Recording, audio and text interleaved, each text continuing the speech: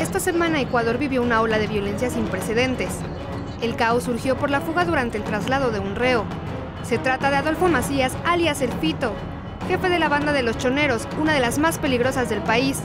El grupo surgió a finales de la década de los 90 y ganó poder en las rutas de narcotráfico, principalmente de la cocaína.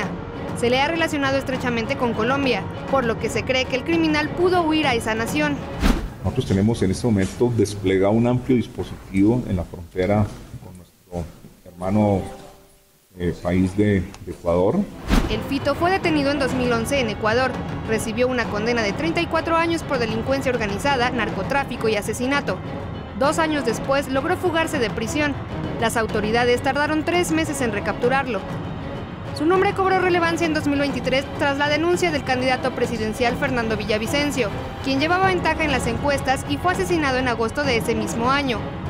El político había advertido amenazas por parte de El Fito. La mafia nos ha acorralado, pero sí hay una salida. El reciente escape del criminal llegó en un momento en el que el gobierno del presidente Daniel Noboa busca hacer frente a la delincuencia pero los objetivos del mandatario se vieron obstaculizados por el reciente escape y a la par el episodio delictivo nacional.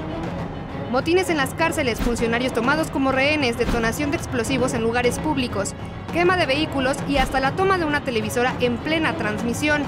Las autoridades tomaron una serie de medidas para restablecer la paz en las calles y entre sus prioridades está regresar a Fito a prisión, en su intento, anunciaron una recompensa por este sujeto, que protagoniza la más reciente y peor crisis de la nación, mientras que Colombia y Perú también realizan operativos para asegurarse de que sus territorios no sean el escondite de este peligroso criminal.